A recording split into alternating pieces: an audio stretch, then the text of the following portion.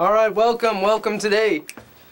Uh. Big, big week coming up in video games. Next week we got Modern Warfare 2 coming out. We got Assassin's Creed 2 coming out, coming out the same day. People are going to freak about it all, and I'm kind of looking forward to them.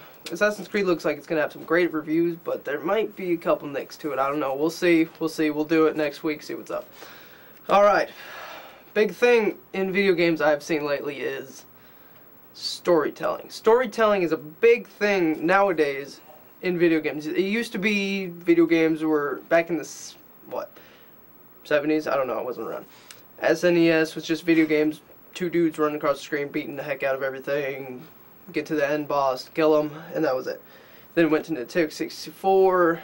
You Super Mario 64. You collect stars, jump into portraits, beat crap out of Bowser, the usual Mario.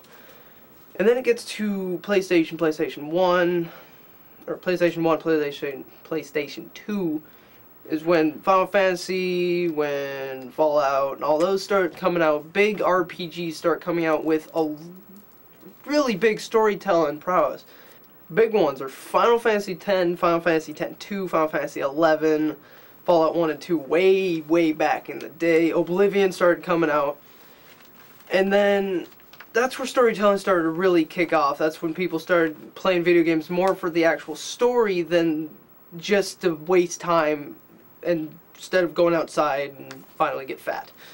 Well, Xbox 360, PS3 finally come out, and storytelling is so in-depth now that people are playing for six, seven hours straight a day because they're so intrigued with the storyline that they just want more and they can't stand it. It's like a book.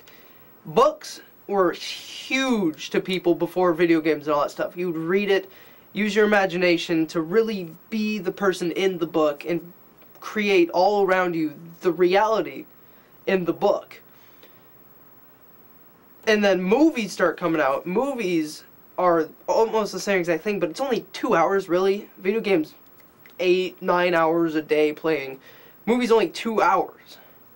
People going to the movies, you become the person, but it's just not long enough, and you get after two hours, you're like, okay, that was awesome. Uh, time to go home and play video games. But great storytelling comes from great games, like Fallout 3 right behind me. It's just such a great game, and story is just so amazingly put together. It's post-apocalyptic Earth. You're coming out of a vault where you've been for your whole life to try and find your dad who left. Well, there is a point when you can get too far away from the storyline. This is when grinding comes in effect. Grinding like World of Warcraft, you level from 1 to 80 in three days and people are calling you nerds and you have no life.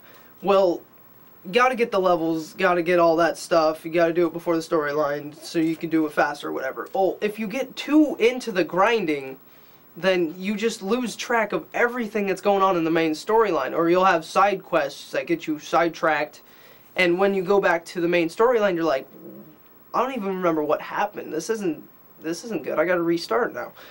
Well, video games are more about that nowadays. You gotta find something, turn it into a quest. You'll get experience. You'll get karma, money, and then you get a level and whatever. People just get way too into that. They lose track of the storyline. Well, in video games, you can't really. Do, it has to be a perfect balance of alright, I need to get this level, but at the same time, I'm progressing through the storyline. So you don't get sidetracked and just completely forget about the whole storyline.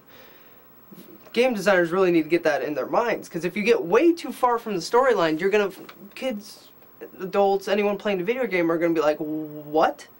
This is a fun game, but I, I have no idea what's going on. So you gotta keep them on the on the main track, keep them going, do whatever you need to do to keep them going, but also have the fun of grinding in it too. Good things come in packages, I guess.